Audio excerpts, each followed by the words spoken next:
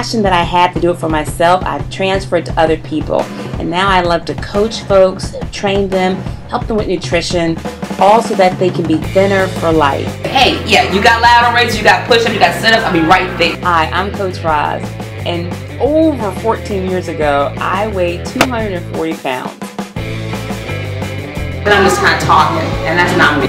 And I'm just five foot zero. Closer, because I'm gonna get ashy. Whatever. I was super chunky, but I lost a boatload of weight and I kept it off for many, many years. Hey, Allie, pick up seven and a half, please. You have shoulder presses. Oh. Burpee. Hot toe touch. Behind it, because this is weight training.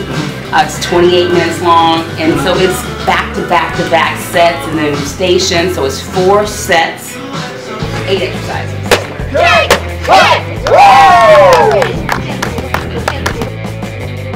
So they know when it's green, go fast. And then when it's red, go fastest. And then red, run for your life. It's just healthier for life. My mission is to end the shame and the health risk associated with yo-yo dieting and exercise dabbling forever. You can do anything for 60 seconds.